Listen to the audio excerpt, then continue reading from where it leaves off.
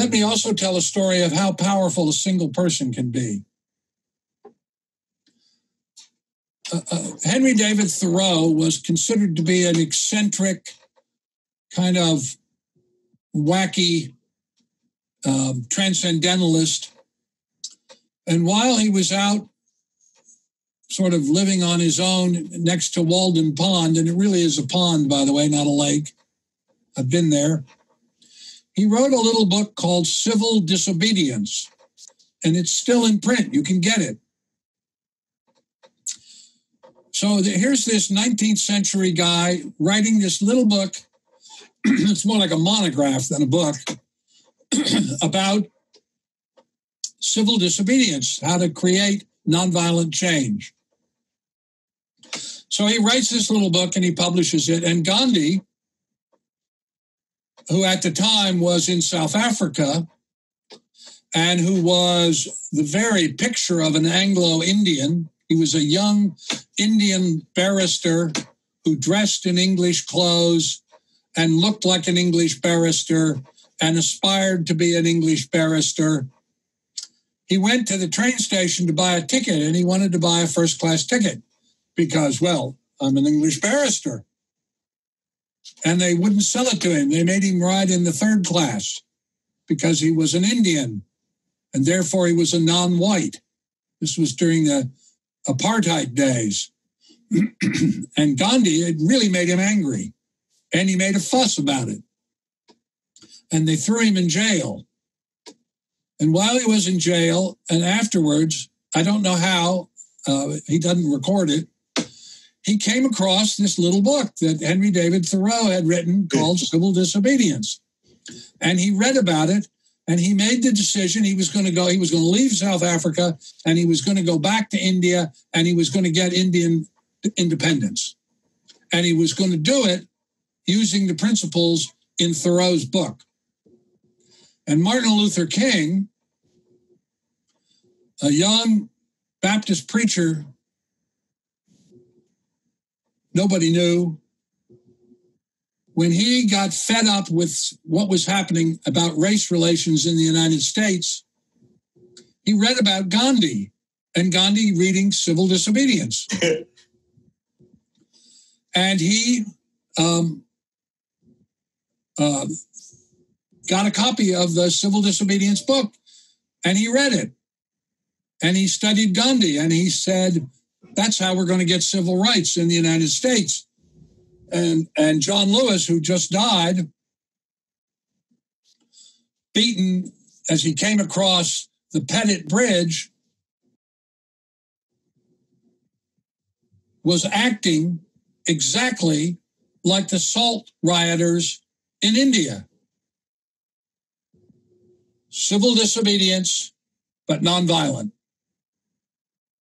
And so if you think about that, what you get is that one 19th century, largely disregarded, quirky transcendentalist sitting little by a little pond writes a book that changes the course of history for three countries India, Great Britain, and the United States. And to give you a more modern example, Uh, this is about a story about a 17 year old schoolgirl named Darnella Frazier. And she was the one who made the videotape of the murder of George Floyd. And she would not be intimidated and she would not stop. And that video that she made on her cell phone, which went viral, created this mass world outcry about police brutality and the racism in the United States. Now, this is one 17 year old girl at the right place at the right time who absolutely would not be intimidated and who was committed to recording something that was wrong and that she was in support of fostering well being and changing the way things are done. And so when you think that you don't have any power, and that you can't make any difference, you don't have any idea. Something that you do or say or think and speak about could end up changing the course of the world. But the fact is that the reason, for instance, Gandhi was able to do it or the Quakers were able to accomplish what they did is that they were non-violent. Because when you create violence, you immediately create a sense of exclusion. There's the guys on my side and the guys on your side. And so you create confrontation, and confrontation leads to violence. Whereas if you work with nonviolence, you are inclusive. And so people begin to identify with you at the heart level and they feel involved and they don't feel slighted or put out or whatever. And so nonviolence becomes really critically important. You know, I, I once I went to New York, this is a few years ago, and I had a friend who was very wealthy. And um, there was something going on at the Folies Bergère. And I'd never been there, didn't know anything about it. I, I mean, I just didn't know, anything. I, I knew about it, but I had never been there. And he said to me, this is, this is about lunchtime on a Friday.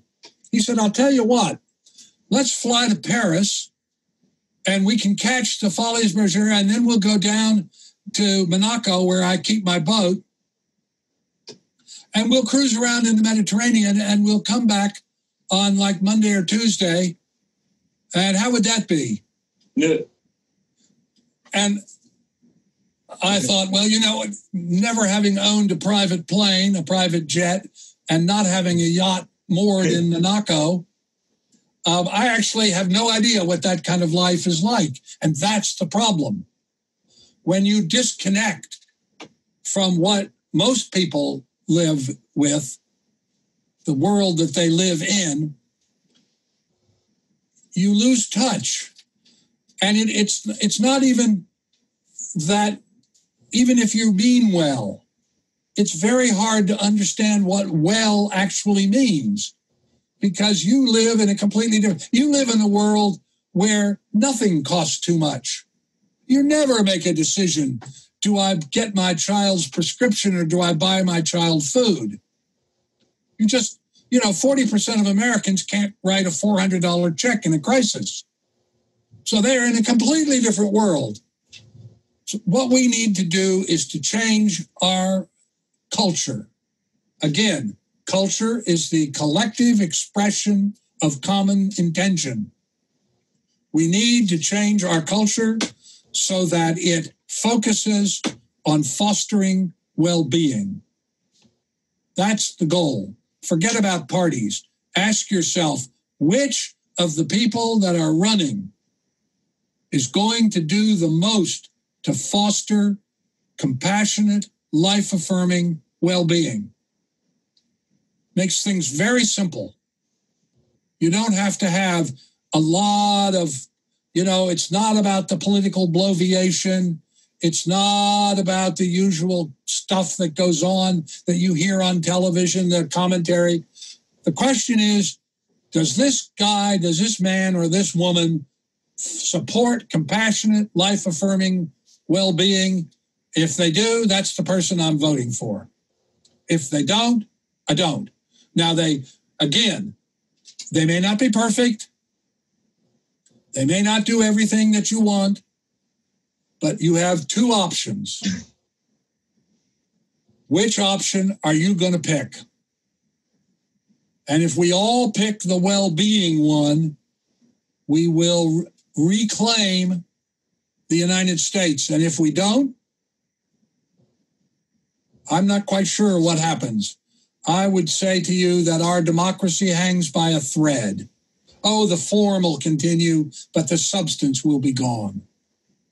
We're now at a place where the corruption in the country is just it's just mind-boggling. It's and, and it's so great they don't even bother to hide it anymore. It's explicit.